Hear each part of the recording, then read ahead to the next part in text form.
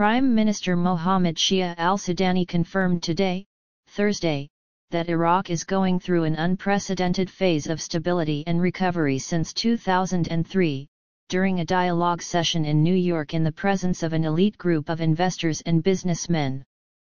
Al-Sudani stated during the session, according to a statement issued by his office and received by Al-Malama agency, that the government has embarked on a series of rapid projects, including the important agreement with Total, which will contribute to increasing oil production and investment in associated gas by about 600 million standard cubic feet, in addition to offering the fifth and sixth rounds appendix, and coming up with contracts to produce oil and invest in gas.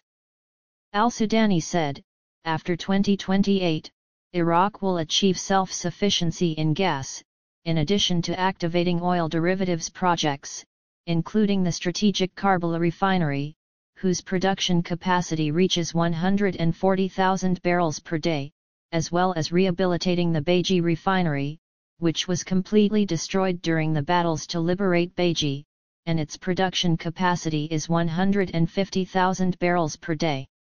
During the session, he referred to the new reality of Iraq, which is witnessing an economic and developmental renaissance in all its sectors, and has also taken great strides in the field of energy investment and associated gas, which had been wasted for years and cost the country losses estimated at billions of dollars, due to the import of gas and petroleum derivatives.